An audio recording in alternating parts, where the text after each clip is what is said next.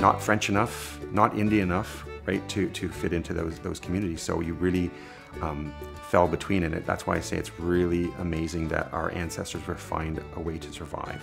The Métis have lived in Georgian Bay since the early 19th century. Many Métis families migrated from Drummond Island in 1828.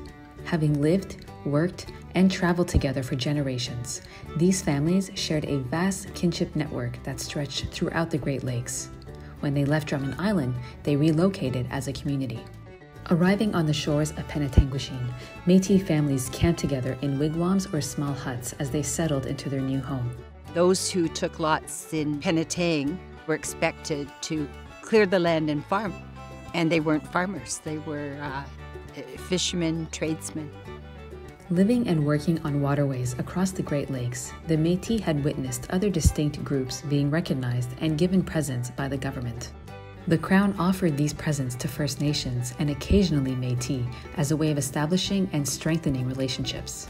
Though not recognized in this way, the Métis in Penetanguishene had their own way of life, which set them apart from First Nations and settlers in the region.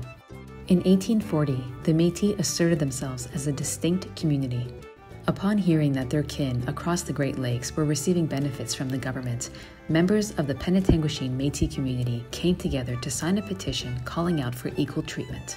The petition went in from Penetanguishene talking about, you know, to be given the same kind of um, of gifts that were being given at uh, at Sault Ste. Marie to their to their cousins and, and relatives. Self-identifying as the half-breeds residing at the town of Penetanguishene, their petition stated that they did not share in any advantage of the half breeds from the Sault Ste. Marie and other places on the shores of Lake Huron. Though the petition did not gain the Metis community any government recognition, they continued to practice their unique culture and traditions apart from other groups. Their homes were usually on the outskirts. That's my family experience. Culturally, they were kind of an isolated community.